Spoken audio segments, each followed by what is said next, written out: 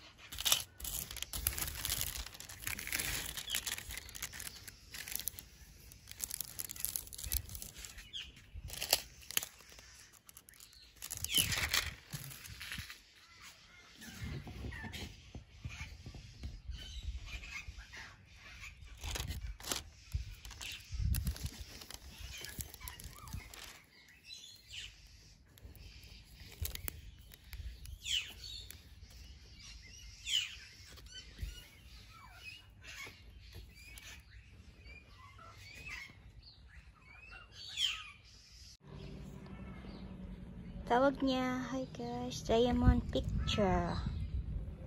Um, ito yung mga beads. Tapos ito yung anong tawag nito? Basta, pagka nag-pick up kanyan, lagi, para siyang blue. Tapos, doon maganda siya. Pangka-relax tapos iyan and then ito natapos na.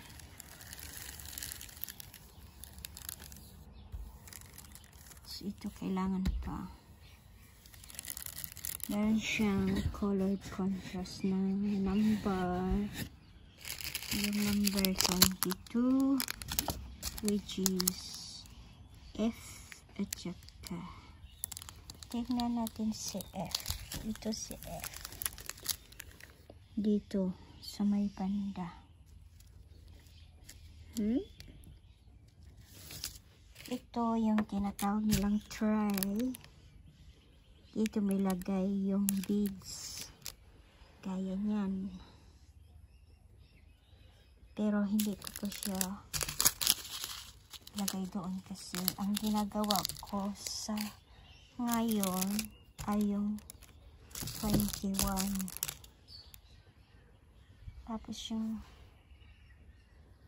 21 yung dito sa may head ng Mama Mary sa may mukha niya at saka sa pisngi at saka dito sa may baba dito ang kulang na lang. Tsaka dito sa mukha ng baby. Yeah. Maganda siya guys. Kasi parang pastime ba? Share ko lang. Ito yung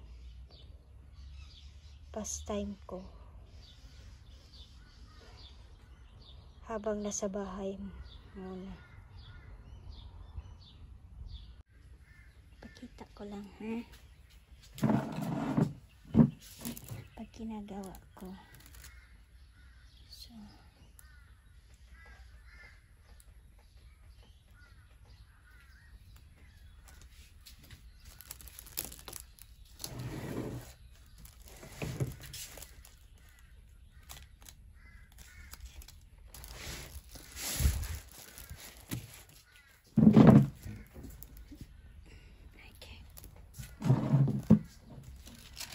Meron siyang parang papel o plastic na ilip na lang.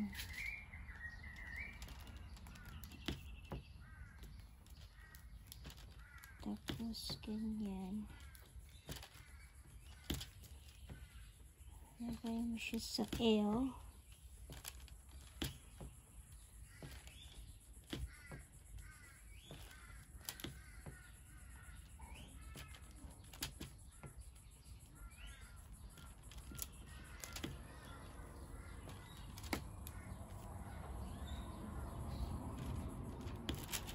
Shake ko siya konti para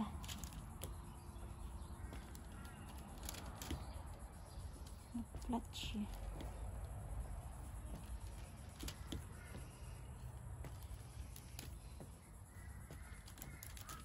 Kasi parang may shape din siya eh.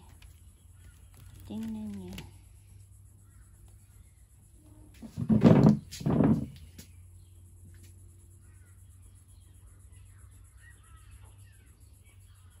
Tapos flat siya sa ilalim. Yan yung sa magiging sa yun yung didikit doon.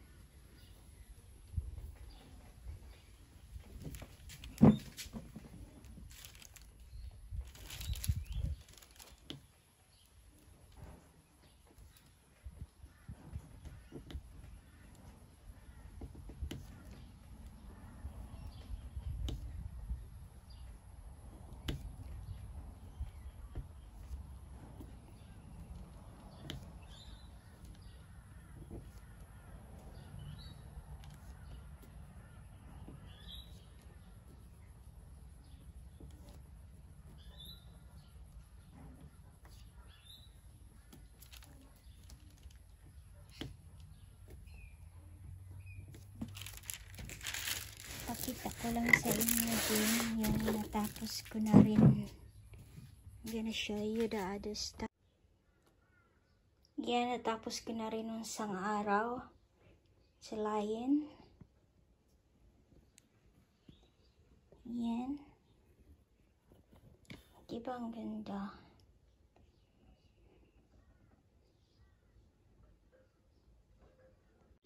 Tapos ito, naka-prime na siya. Matagal na to siya. Ganun din, beads. Mama Mary siya. Um, nakahang na siya sa wall. Ayan. Di ba ang ganda?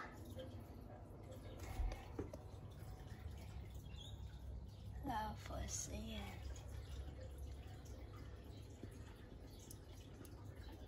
Share ko lang sa inyo yung nagawa ko, guys.